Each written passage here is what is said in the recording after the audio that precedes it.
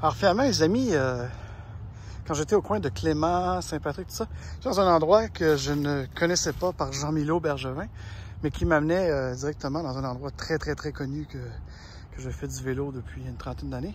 Et là, justement, je suis toujours en haut sur cette piste cyclable mémorable qui nous amène aux intersections, euh, les berges, le parc René Lévesque. Et euh, depuis 30 ans, c'est toujours la même, chanson. Je roule donc à 25-30 km heure. Je ne prends pas le temps de m'arrêter et de voir l'envers de la piste cyclable. Et c'est pour ça que j'en profite maintenant. On pourrait appeler ça une piste oubliée. Donc ce petit chemin tranquille que je voyais. Mais là, je trouve que lorsqu'on est à pied, on a une beaucoup plus grande flexibilité, une plus grande agilité de mouvement. Hein, on n'a rien avec nous. Hein. Une voiture, c'est déjà... Ça nous amène plus loin, une voiture, mais ça nous amène pas dans des petits raccoins comme ici. Hein, D'être, euh, comme j'ai dit, à l'envers de cette piste cyclable, par exemple. Bon, en vélo, je pourrais bien descendre de mon vélo, descendre et tout, mais moi, quand je fais du vélo, je fais du vélo. Mais quand je marche, je peux faire une marche soutenue, sportive, là, mes 5 km par jour que je fais à la pause dîner au lieu de manger.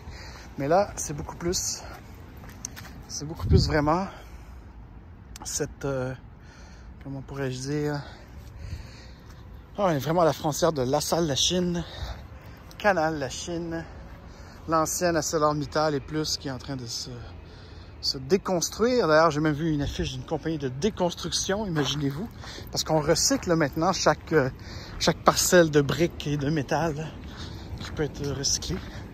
Des anciens édifices et même des nouveaux en construction. Alors, une descente de bateau. Là, comme vous voyez, l'eau du canal a été euh, diminuée pour l'hiver. Alors voilà, le moulin Fleming par là.